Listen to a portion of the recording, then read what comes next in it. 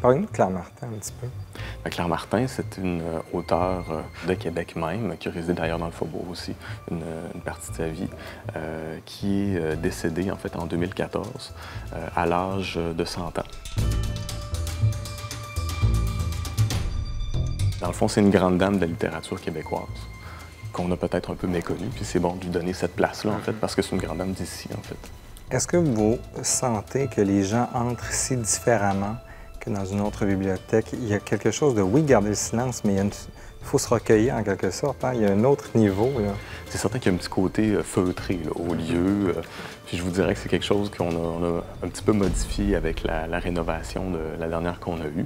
Euh, d'ailleurs, lors de cette rénovation, on a changé de nom. On est devenu la bibliothèque Claire-Martin. Et on a changé aussi euh, l'éclairage du lieu. Euh, auparavant, ça faisait davantage feutré, un peu plus, je dirais, confessionnal.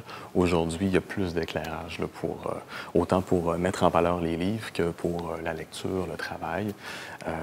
et d'ailleurs, il y a effectivement les gens du quartier qui visitent la bibliothèque, qui découvrent le lieu de manière euh, régulière, euh, mais aussi euh, durant l'été notamment, durant la, période touristique actuelle, beaucoup de touristes. On est sur la rue Saint-Jean, on est dans le faubourg Saint-Jean-Baptiste. Les gens s'aventurent, même quand ils viennent découvrir le vieux Québec intramuros, jusque dans notre quartier. Et puis ils passent à côté de ce qu'ils croient être en fait une église, entrent à l'intérieur et découvrent que ah, c'est une bibliothèque. Donc là, ils sont un peu comme abasourdis. Euh, pour eux, c'est tout à fait inédit, en fait, d'avoir ce genre de bâtiment-là, de, ce genre de, de lieu-là, de bibliothèque, dans une ancienne église. Est-ce qu'il y a de l'intérêt des gens à être bibliothécaire? Oui, bien écoutez, euh, on voit qu'il euh, y a beaucoup de gens qui, sont, qui cherchent à appliquer à la bibliothèque. Il y a des gens qui viennent travailler chez nous aussi après une première carrière, euh, puis ils sont à la retraite, puis ils veulent découvrir un autre type de travail. Donc, on a des profils assez variés. Et qu'est-ce que vous aimez de faire ce métier-là? En fait, c'est vraiment la diversité, parce que c'est à la fois un,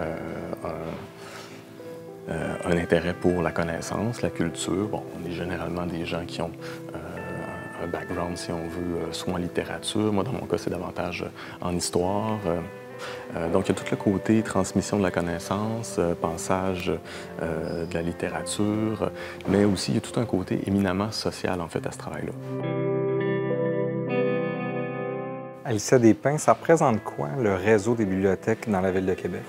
Le réseau des bibliothèques, c'est 26 euh, bibliothèques. On a des tout, petites qui sont considérées comme des bibliothèques euh, de quartier, euh, jusqu'aux plus grandes bibliothèques comme Monique Corriveau et Gabriel Leroy. Mais le réseau, c'est aussi tous ceux qui sont membres. Qu'est-ce que vous avez sur la planche à dessin pour garder des bibliothèques attractives, attrayantes? Donc, une bibliothèque 2019 à Québec, ça ressemble à quoi? Notre projet phare dans notre, vision des bibliothèques à la ville, c'est notre projet de rénovation et d'agrandissement de la bibliothèque Gabriel Leroy, qui est notre bibliothèque centrale. Et euh, ce projet-là, euh, euh, qui va ouvrir en 2021, en fait, l'objectif, c'est qu'elle soit une des plus belles, bibliothèques au Canada, mais aussi dans le monde. Puis en parallèle, on n'oublie pas nos petites bibliothèques de quartier qui sont très appréciées, très fréquentées. Alors, à chaque année, on injecte l'argent pour les réaménager. Au travers de la vie politique, est-ce qu'on a le temps de lire? Alors, oui, je, trouve le temps de, lire. Puis en même temps, ben, je pense que ce serait difficile d'arriver dans des événements littéraires euh, sans lire, sans euh, pouvoir parler des livres. Et, euh, chaque fois que je remets un prix à un auteur, ça, donne le goût de lire le livre et de découvrir qu'est-ce qui a fait en sorte que cette personne-là ait gagné un prix.